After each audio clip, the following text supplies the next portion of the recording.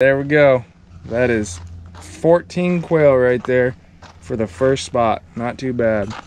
How you doing, man? Good. Good. Well,